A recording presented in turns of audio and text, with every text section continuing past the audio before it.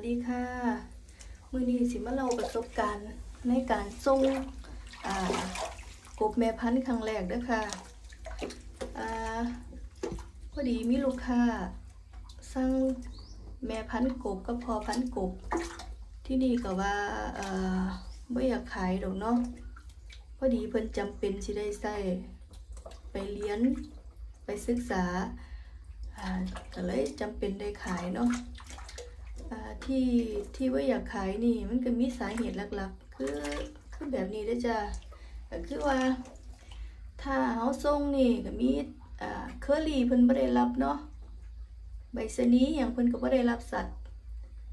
มันสิส่งได้อย่างเดียวก็คือส่งขึ้นรถทัวร์จ้ะ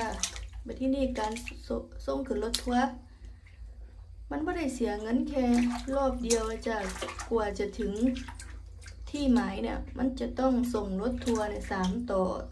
รถทัวร์คันนี้ส่งไปถึงโคราชโคราชส่งไปต่อตรงนี้ ตรงนี้ส่งไปต่ออีกที่หนึ่งมันจะเป็นในลักษณะแบบนี้จ้ะก็มันก็ต้องเสียเงินให้รถทัวร์คือสามทอดมาที่นี่ก็เขาก็ต้องไปซื้อกล้องซื้อกล้องแล้วเขาก็ต้องตีรถเข้าไปในเมืองเพื่อไปส่งอีก มันเป็นการไม่คุ้มค่าเนาะจ้ะอ่าถ้าซื้อครบพันสองพันนี่ก็เอินว่าบ่คุ้มค่าเนาะ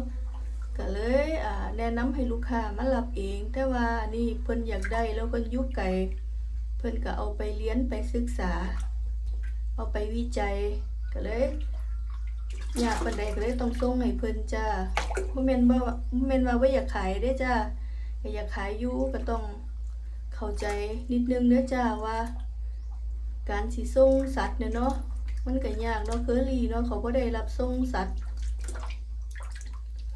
ขึ้นรถทัวร์อย่างเดียวจ้าถ้าเป็นสัตว์